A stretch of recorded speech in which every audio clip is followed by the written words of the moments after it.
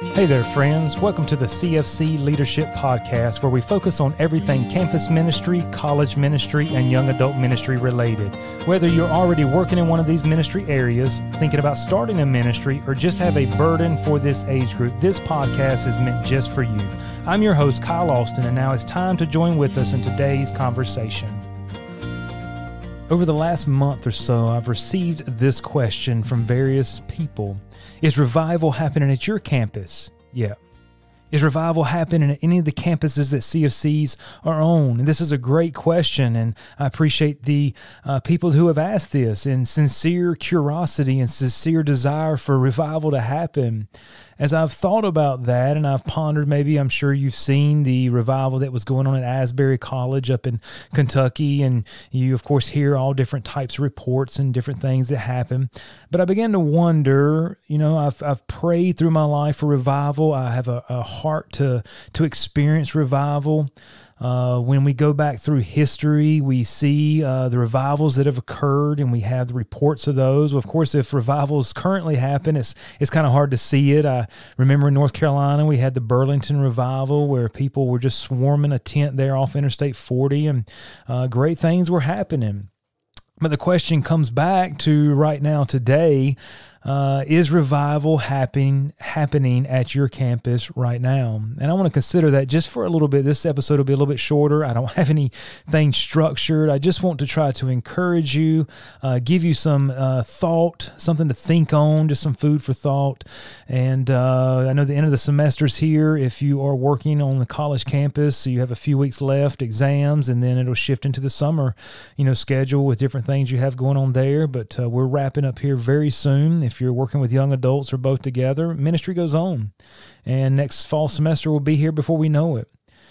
But as I think about revivals, I've read and studied uh, throughout uh, you know time different books and different things. And J. Edwin Orr writes a book called Campus Aflame, where he goes through and just gives the histories of the revivals that have happened on college campuses. It's a it's a very interesting uh, to read through there and see how God was working uh, at both Christian colleges, state colleges, uh, how these revivals were happening, and uh, it's very encouraging to trace through and see that. And i think the the thing i can take away from that whole entire book and his work there is it always boiled down to a small group of students who were doing one of two things or both. There was a small prayer group that was meeting consistently and frequently uh, and or there was a small bible study group that was meeting consistently. And god used that in a tremendous way to impact to bring what we would say quote unquote is revival to uh, an area area. Um, so when the question is asked, is revival happening on your campus?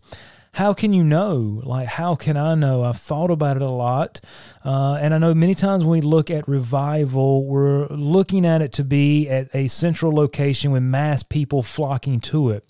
I understand that is a type of revival, but I'm thinking and meditating and praying through that that's not the only type of revival. That's not the only time that revival occurs. I think as I've talked to many of our leaders through this semester at our different CFC ministries, what we're experiencing personally here at both ECU and Pitt Community College and in the lives of our young adults, there is a very unique seeking of the Lord than I've experienced before in ministry. Now, I'm not super old, uh, so I don't have, you know, 50, 60 years of experience. Uh, but from what I've experienced for 12, 13 years, there's something very, very different this year and it's not just us, it's amongst many different groups. We're seeing an interest, we're seeing souls saved, uh, we're seeing a, a, hunger for discipleship, a hunger for uh, truth, we're seeing a hunger to be involved in church and uh, I've just got some recent reports some of uh, some from some of our other CFC ministries that they've never experienced uh, the amount of students that want to be involved in leadership. They've never seen this many students connecting to their church. They've never seen this type of growth before. Uh, we here at ECU saw exponential exponential growth uh, over this last uh, year, greater than we've seen in any other year of our ministry. And we give God the glory for it. It's nothing that we're doing. But I want to say this as we kind of consider this idea of revival. Okay, so maybe it's not some big meeting, some big worship service for one, two, three, four, five weeks. Maybe there is a spirit of revival going on right now at your campus. Maybe you in your young adult ministry are seeing there's a heightened sense of urgency to seek the Lord. You're seeing growth, you're seeing pursuing, you're seeing them getting a little more serious about being a follower of Jesus Christ. What is that? That's a spirit of revival. I don't know how else to explain what is going on at our campus besides there has to be something that God is doing. We understand God's always working. I'm not diminishing that and I see the the great meeting at Asbury, and you see other great meetings that that happen. And when you go back through history and you see how J. Edwin Orr kind of traces the the revivals that were happening in campuses, sometimes it was local. You know, it wasn't some huge meeting. It was it was local, but it had effects that spread out into the community. So much so that it could be seen, it could be felt. There was something people could say. There's something different that's going on. Uh, we had one ministry that uh, just started this semester, and they grew from just a couple students to eight, and then a young man got saved, and then the next week uh, he brought a bunch of people with him. Now you say, yeah, that, that could be revival, it could not be, but when you see the overall picture, there's something going on in the lives of our young people right now. There's uh, we had a young lady. Uh, we have a campus house now. I'll, I'll, share some information with that as we go forward. But uh, we were able to open up a campus house right beside the uh, student center here at ECU, and uh, we're there Monday through Thursday right now, nine to five, nine thirty to five, and we're we'll be expanding that further. Uh, but just being open for students to come study to come have Bible studies, discipleship, prayer. We'll have all different types of events. But saying that, we're there. We have a sign out there. We had a young lady uh, who walked in off the street she came. Uh, my wife gave her the tour, and uh, she we could tell she didn't want to just sit down and study or, or, leave and come back at a different time. There was something else, you know, more urgent. And to give you a long story short, she had serious answers about Jesus. She said, "I've just never really considered God. I've never really considered Jesus. I've walked by your house. I keep seeing the sign, and uh, I'm very curious. And there's this urging." She said, "I don't even really know how I got in the house today." And my wife talked with her, answered a lot of questions, was able to lead her to the Lord. And I just see the hunger.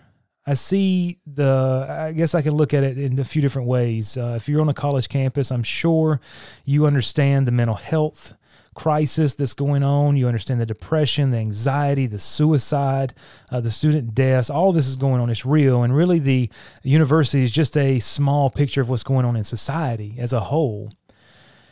And it's heartbreaking uh, when you see students like this. But on the flip side, you see the hunger, you see the need for hope. You see them searching, and I think there's an unrest which causes the the, the anxiety, the uh, the depression, uh, the, the suicide. There's an unrest. Why? Because the forces of good and evil, God and Satan, are battling it out. We understand the Lord's return is imminent; it's close. You and I have a short amount of time. Every semester that goes by is one semester less that you and I will have. The time is short. The souls to be reached are many, but God is at work. And I just want to encourage you because sometimes we think, oh, I wish God would do that here. Why is God not doing that on my campus? And just take a survey. And maybe you're saying, no, God's not doing that on my campus right now. And that's okay. Maybe it'll be next year, next week. We can't control how God works. But I just sense personally in our own ministry a growth like we've never seen, a hunger like I've never experienced. Other ministries are, are sharing the same thing. So is revival happening on my campus? Yeah, there's a spirit of revival that is going on on my campus. There's a spirit of revival that's going on in some of you that may be listening on your campuses or in your young adult ministry. And people say, hey, look, our, our campus ministry is a little flat this, this year, this semester, but our young adult ministry is just booming. There's just something going on in it. What is it? I believe it is that spirit of revival that's going on. So just as you take away one, be encouraged that God is at work that it is not a hopeless situation with our young people. Uh, I think they've been given from kindergarten all the way through. Uh, you're here by natural processes, evolution. There is no God, which, per, which produces no hope, absolutely no hope. and they're running up on empty and they're searching. They're saying there's got to be more to life than this. That's where I found myself as a 20 year old, 18 year old, 16, 15, all the way into my uh, young 20s. There has to be more to life than this. And then when you find that there is, there's hope through Jesus Christ, it just gives your life meaning, purpose, and perspective. But as you, as a leader, as you're working, just know that God is working with you. We looked at a verse in our Bible study this past week in Romans 8 31 that God is for us. And if God is for us, who can be against us? Absolutely nothing. So know this, young adult leader, campus minister, God is for you. That means that every single thing in your life and ministry is working for your good. Even the setbacks, even the difficulties, even the heartbreaks, even the trials, everything because God is for you, is working in His direction, is working for you. None of that can work against you. And so, is there a spirit of revival happening at your campus? I pray that it is. And I don't know uh, how long, you know, we'll see this interest. It could be a week, it could be a month, it could be years. But all I know is I want to seize the opportunity. I want to encourage you as a young adult and campus minister worker that God's at work, that you're needed, and there is a fruitful field outside the doors of our houses and churches that needs to be reached. Thank you for taking the time to listen. If this podcast has been helpful to you, please share it with a friend or subscribe to stay up to date on the latest episodes.